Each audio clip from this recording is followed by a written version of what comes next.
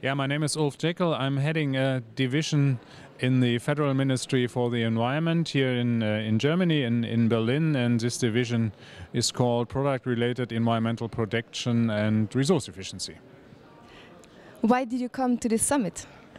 Um, uh, we are taking care of environmental labeling as well as life cycle analysis uh, and carbon footprint in our division. And uh, we are in the process of developing a methodology as a convention in Germany on the national level, but to be to give input into the international discussion. And also we are in the process of developing, establishing and climate change label for products. What do you expect from this summit? Um, I think the summit is a is a very good occasion for uh, people from all over the world to share to exchange their views.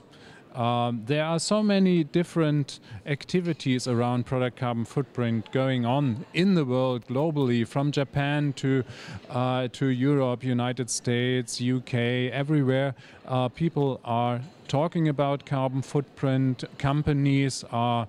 Um, in the process of developing maybe their own approach to carbon footprint and so on. And so it's, it's good to exchange views and maybe get a common understanding of what carbon footprint could be and what it can't be. Could you give me, give us some insight into exactly this question? What do you think will be the contribution of uh, product carbon footprint to uh, reducing climate change, for example?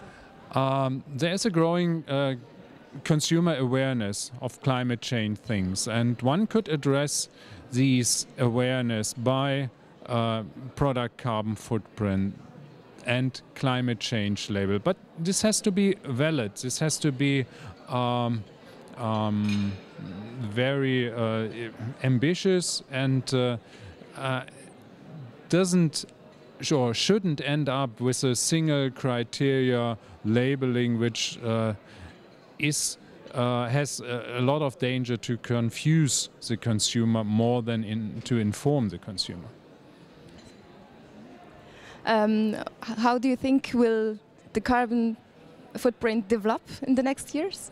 I think the carbon footprint will develop in a way that companies look at their uh, the life cycle of the products and uh, try to improve the products by using the, the carbon footprint, which is very good for an environmental ministry. This is the, this is the aim.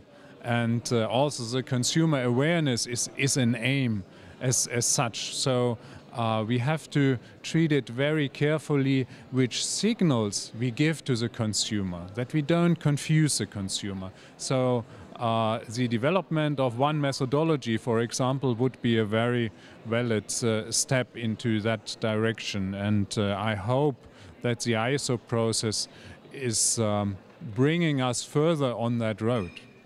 Okay. Well, I hope so too. And I wish you good luck. Thank you very much. Thank you.